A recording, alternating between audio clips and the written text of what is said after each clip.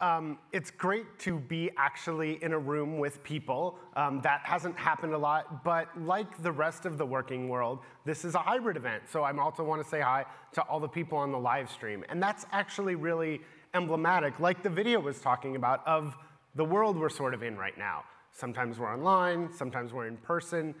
We know that we're going to something hybridy, but we don't really know what it looks like. I'm still trying to figure it out just for my own life, let alone the companies I write about. And as I try and figure it out, there's no one I would rather have this conversation with than our next guest, who is Stewart Butterfield, the CEO of Slack. Welcome, Stewart.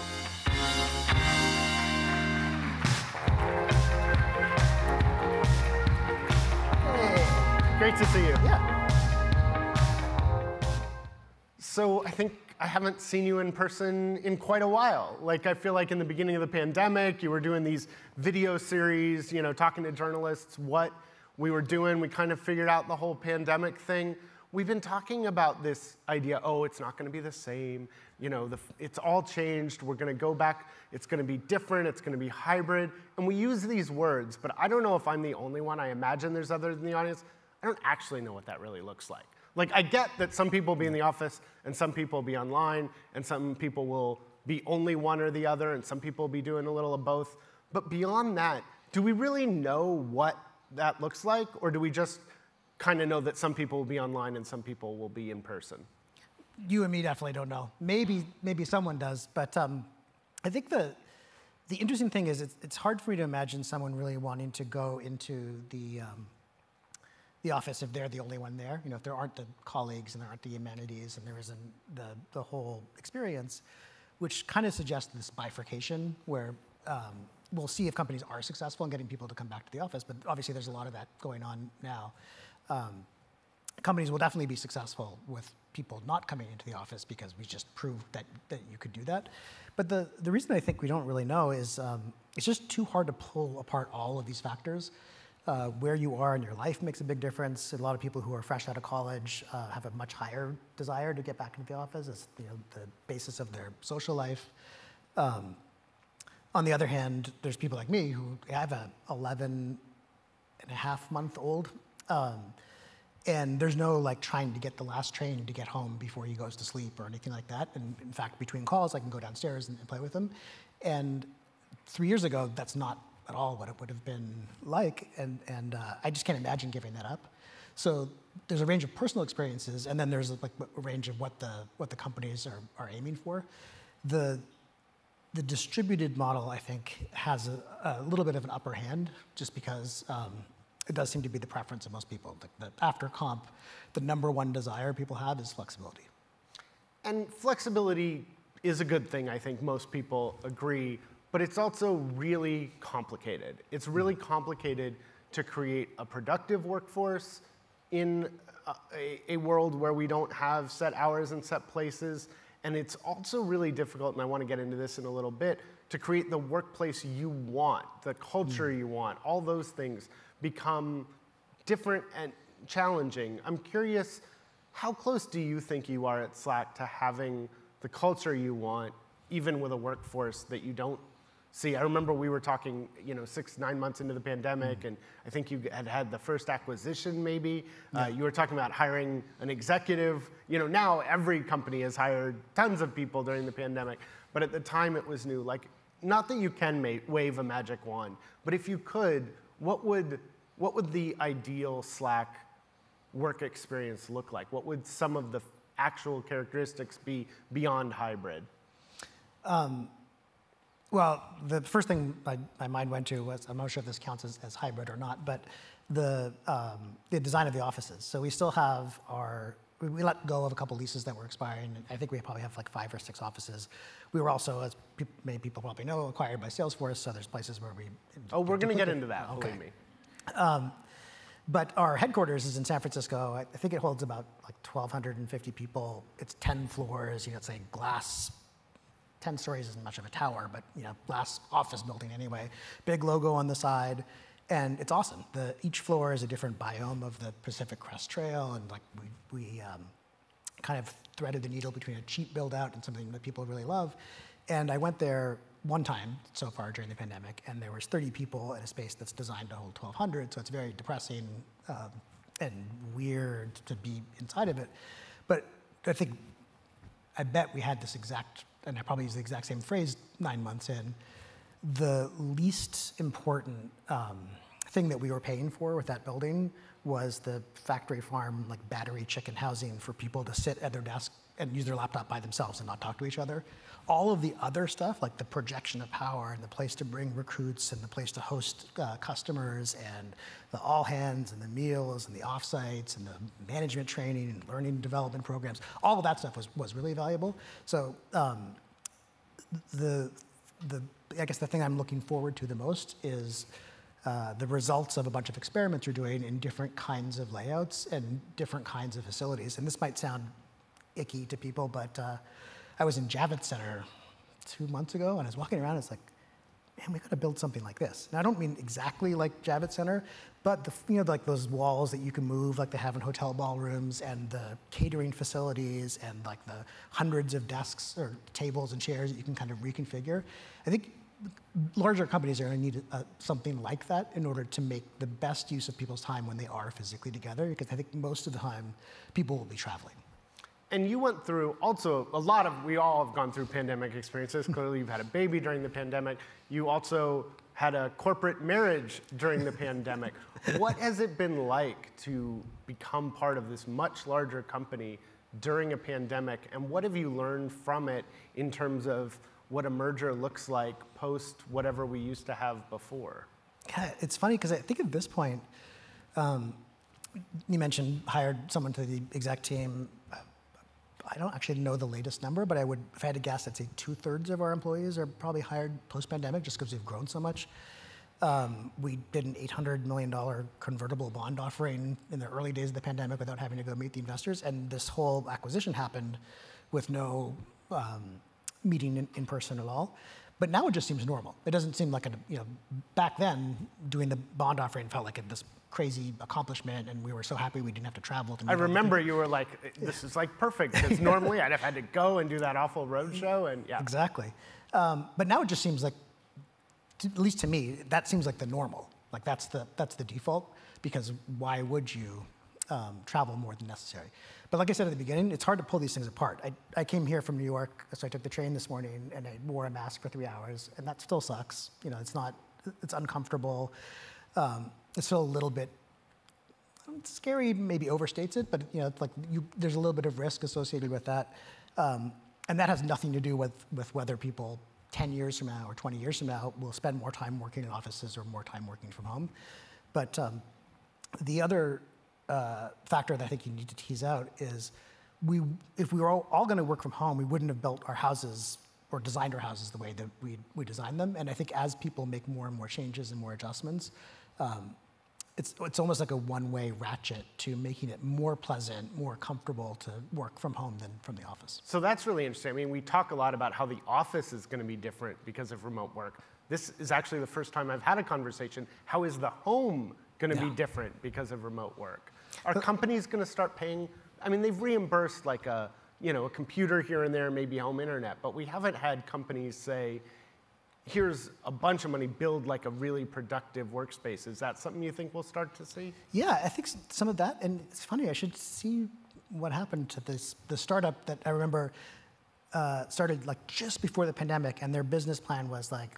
Um, at-home IT for remote workers. So we'll take care of like shipping the laptop, picking it up, the ergonomic chair, monitors, make sure people's networks are okay and, and stuff like that. And then the pandemic started like right after.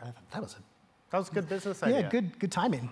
Um, but you know that hasn't really come to fruition. And over the last couple of years, I have cursed the fact that there is no one from our business technology group who lives in my house and can help me with different things that you know as they as they arise. Um, again, post-pandemic, I think that's, that's less of a problem, and that does seem like something that's, that's ripe for outsourcing.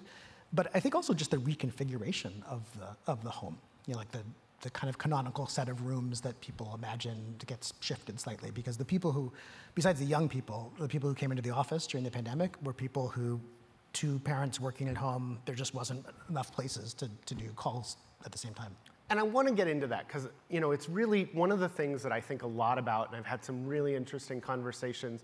By the way, Reshma Saujani, who founded Girls Who Code, has a great new book out, Pay Up, looking at some of the equity issues. And one of the things we were talking about is you would think, like at first blush, when you think about the hybrid workforce, you think more flexibility, oh, that's going to be great for working moms. Mm-hmm. And actually, there's a real fear that it could be worse in the sense that if people have the option to be in the office or not, how much pro- proximity bias will there be where those who are coming into the office um, seem like the people who are really committed and you give them the plum assignment because they're right there?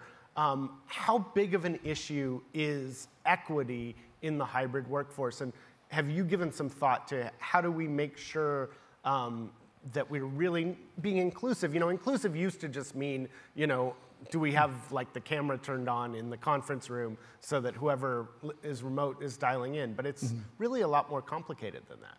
Yeah, you're right. It's, it's much more complicated, and there's a bunch of. I mean, so some of them are, are uh, I don't know, easy. I'm not sure. The, the Salesforce exec team is, is um, sometimes getting together in person, or at least parts of it.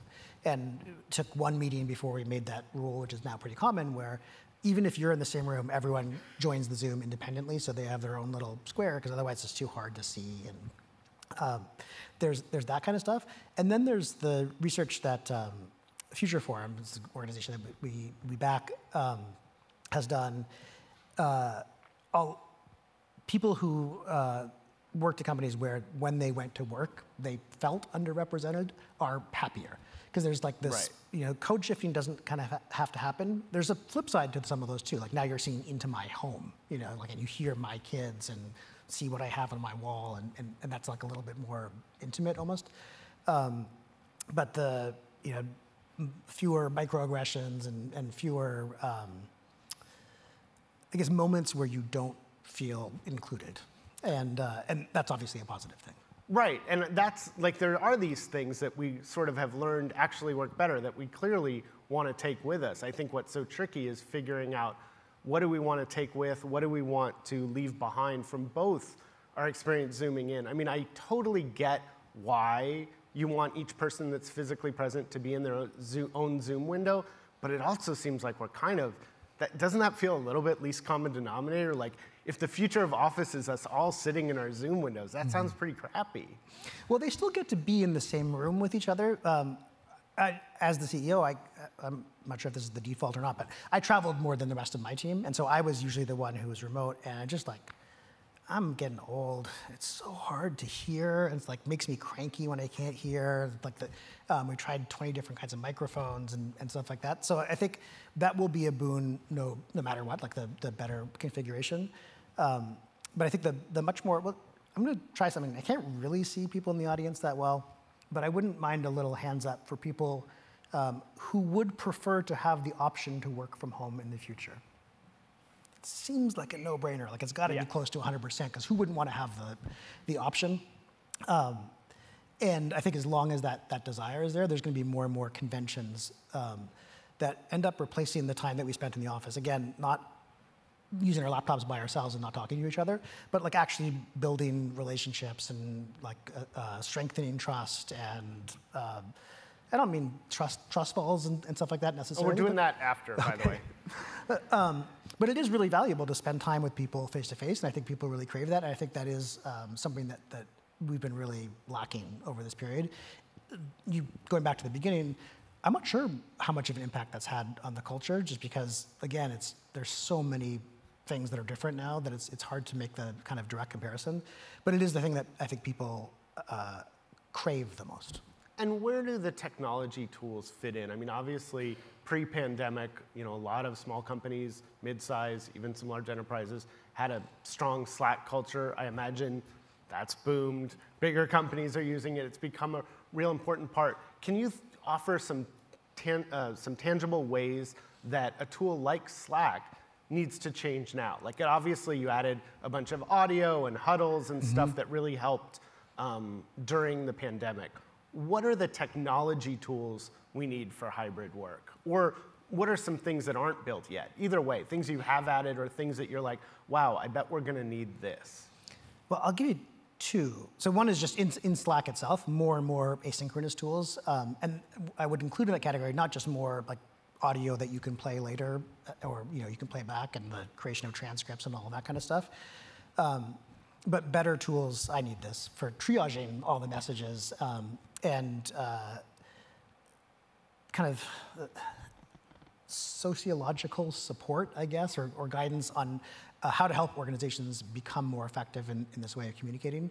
Because um, this is, is something that blows my mind all the time. All right, imagine some of you are executives at companies that have around 10,000 employees, and so like roughly, let's say that's a billion dollars in payroll. If you're an executive, you spend 100%-ish of your time on communication, and you know, more or less every manager is going to be a similar proportion. The person inside the company who spends the least amount of time on, on communication, and I mean reading and writing messages, you know, preparing reports and reading other people's stuff and having phone calls and one-on-one meetings and all that. Um, the people who spend the least time are, you know, like maybe it's 30, 40, 50%. So if you average it out, you, you have people spending 50 or 60 or 70% of their time on communication. So you're spending $600 million, let's say, a year on communication, and how much investment do you put into training them to be more effective communicators and to have better meetings? The reason that everyone in this room probably knows about the Amazon six-page memo format, and we all read it at the beginning of the meeting be before we have the discussion, is because there's so few examples, like of people even trying anything to, to make um, uh, communication better. So I think that, that part is, is something that even at Slack, where we're, I think we're much more conscious of this, we still underinvest. And we do a lot more onboarding. We do have a Slack 102 course and a Slack 102. Yeah, I noticed it was probably one of the most popular things we had at one of our internal meetings was someone just shared their Slack tips. And like one of the things I noticed pre-pandemic that's changed a lot. Pre-pandemic, I didn't feel a huge need to like manage. I didn't even bother to learn like how do I say I'm not available and whatever. Now, like I would be absolutely, like, I, I just have to set some time aside and mm-hmm. say, I'm in a meeting, I'm taking a break, whatever. Yeah. Um, and it feels like there's even more of a need. Otherwise, the default is kind of you're around 24 7. Mm-hmm. Like, I, there was an article, I think, in the journal about how a lot of workers now have a 9 p.m. shift. Um, I have a yeah. 9 p.m. shift. I have an after the kids go to bed. How many people have a shift that ends you know, starts then or ends after a kid goes to bed or something like that. Yeah, yeah, that's that's a lot of people. Like how how important is time management and sort of managing triaging communications in sort of how to use your product well? I think it's very important and I'm horrible at it. So uh, I'm not sure if I have any like great advice or, or feedback. But the other thing that I think we're missing is, um, oh, let me put it this way. I think there's an enormous number of opportunities to make improvements that I almost feel like people haven't made, maybe because they don't think that this is a permanent new normal or, or something like that. Um, but what became really acute for me when my days were 90%-ish Zoom meetings was there's no artifact left behind. Like we have this meeting, there's all this discussion, we could easily make a transcript, we shared a bunch of documents back and forth. There's not even like a record of who was there and how long we talked, which would just be so useful to, to like bundle that, that stuff up.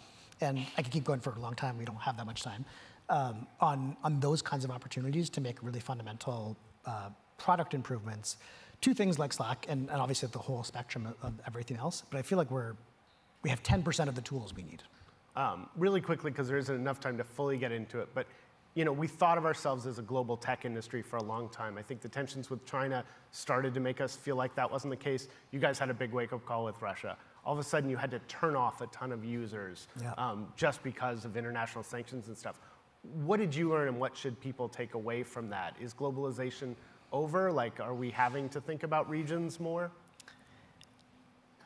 Um, I would have. Uh, been much more globalist, internationalist, something like that, um, three months ago. I think so. I, I have. Uh, I don't know, this this the invasion just seems so unbelievable in in certain respects, like like a, a, a thing that you would see in a, in a movie.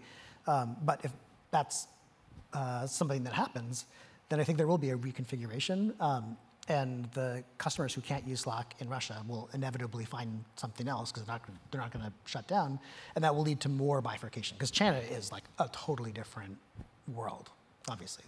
Well, I had a ton more that I wanted to get to. I actually really was hoping you'd break out the ukulele and uh, play a ditty for us. So next time at Axios What's Next Summit 2, uh, Stewart's going to play the ukulele, which is going to be awesome. Um, thank you so much. Uh, congrats Thank on you. the baby. Uh, Stewart Butterfield from Slack. Thanks, everyone. Thank you.